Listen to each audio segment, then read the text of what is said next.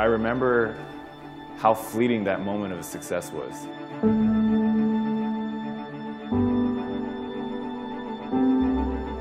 I was happy, but then like two, three weeks later, I was kind of like, man, all I'm thinking about is the next game because if I don't play well, then there's backlash. And then after I play well, then I have to play well the next game. And after the season, it's the next season.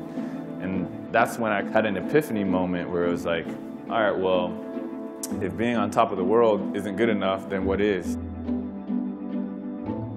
First, I got really upset, but then, um, and I felt like, man, like I'm just kind of like a zoo animal. You know, like people just kind of stop by, take a picture, and then they kind of go on their way. Uh, but I think as I got older, I really appreciated or embraced the platform that comes with it. Like I have a voice.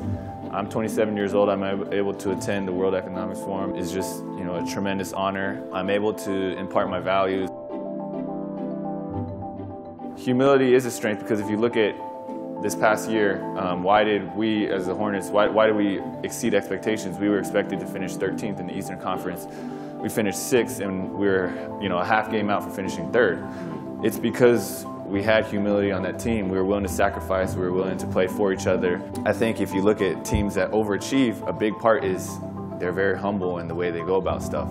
I think there's a big difference between being humble and being stepped on. You ask me why is my high school coach such a great coach, it's because um, it's because he uh, he never thought he knew it all. Um, and, and, I remember we played a team and we, they took us to overtime and we barely beat them, but they were uh, definitely less talented. And after my coach called that coach and said, hey, what is, you know, what was it about your team that made it so difficult for us? Um, and I was just like, man, that's like, uh, I could learn from that, you know? And, and so as I've gone through my experiences with so many different players, um, I just try to pick up one or two things from everybody